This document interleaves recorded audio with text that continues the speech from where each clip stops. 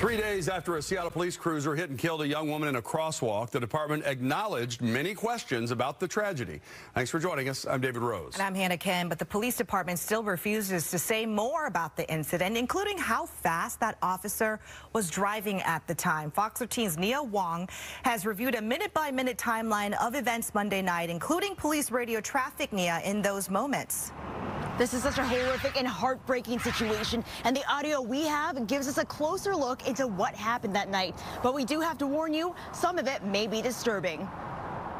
I'm holding a precedence one call at 708 6 North. It's an overdose and fires now en route. The Seattle Police Department says one of their officers was responding to a priority one call on Monday night. Seattle police classify this as the highest priority call.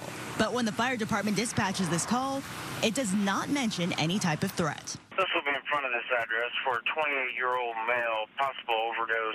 SPD is responding. You can hear the dispatcher describe the subject as alert and responsive. The person overdosing is calling it in himself. His name is Alex. He's refused to give the rest of his name. He wants to stay on the phone with us until officers arrive. A minute later, tragedy strikes. Start fire for a struck pedestrian. Dispatch then asks the officer if they're at the location where the overdose call is based. The same location, 7086 North. Negative. I'm going to be on Aurora. The officer is not on Aurora. They initially seem confused as to where they are. Not long after, a correction is made where they confirm they're on Thomas and Dexter. On Tuesday afternoon, SPD originally said the officer was responding at the request of the Seattle Fire Department. Ten minutes later, they released an updated statement saying the officer was responding with the fire department. Seattle PD has not revealed the name of the officer. We only know they've been with SPD for three years. But through a GoFundMe, we are learning more about Jaahnavi Kandula, the woman that SPD hit and killed. The GoFundMe says the Northeastern University student leaves behind her single mother, who is a teacher in India. This online fundraiser has now surpassed its goal to financially help Kandula's family. We reached out to SDOT for a history of crashes at this intersection. They tell us that before Jaahnavi Kandula's death, there were no reports of cars hitting pedestrians at this location since January 2018. The speed limit is 25 miles per hour on Dexter Avenue North and 20 miles per hour on Thomas Street. Fox 13 asked SPD on Wednesday if the responding officer had their lights and sirens on, as well as how fast they were driving, only to be told they can't answer those questions right now.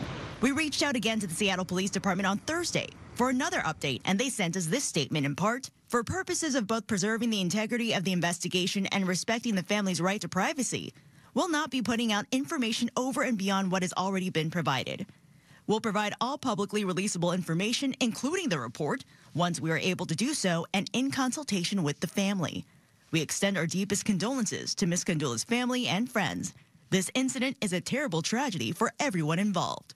Meanwhile, Jaahnavi's family tells us her mother's hopes and dreams are cut short, saying in part, We are truly heartbroken. Jaahnavi was a brilliant student with a bright future. Jaahnavi's smile was radiant, and her bubbly personality warmed the hearts of every person she came in contact with. Detectives from the Traffic Collision Investigation Squad are leading this investigation.